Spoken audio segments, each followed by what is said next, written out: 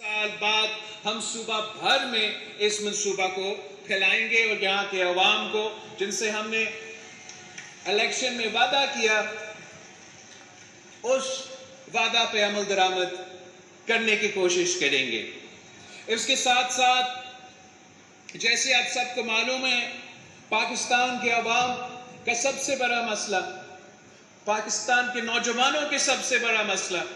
रोज़गार का मसला है। और इन ताला आपका सिंध हुकूमत दिन रात मेहनत करेगी कि हम ऐसे मंसूबे लेकर आए जिससे इस सूबे के अवाम और इस सूबे के नौजवानों को रोज़गार के मौके मिले और वो वो अपना तरक्की का बंदोबस्त कर सके। शहीद मोहतरमा बेनज़ीर भुट्टो के बारे में मशहूर थी कि शहीद बीवी आएगी तो रोज़गार लाएगी और जबकि शहीद मोहतरमा बे नजीर भुट्टो की हुकूमत इस सूबे में मौजूद है, हमें इन ताला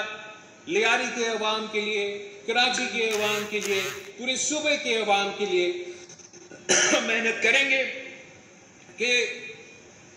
हम ऐसे मंसूबे लेकर आए जिससे आपको रोज़गार के मौके मिले। हम मेहनत करेंगे जो तमाम हुकूमत के, जो रोज़गार के मौके मौजूद हैं। मगर किसी न किसी अदालत का स्टे ऑर्डर की वजह से हम अपने नौजवानों को वो रोज़गार नहीं दिलवा सकते हैं। हमने अपना